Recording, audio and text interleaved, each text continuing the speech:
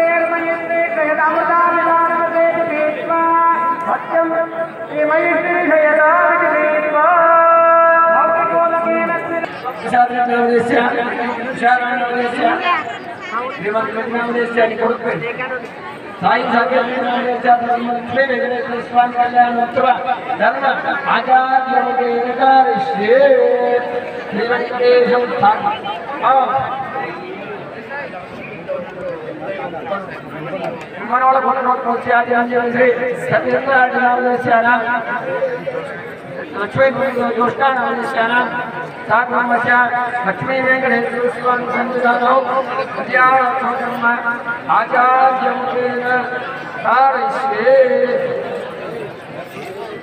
Shri Venkatesham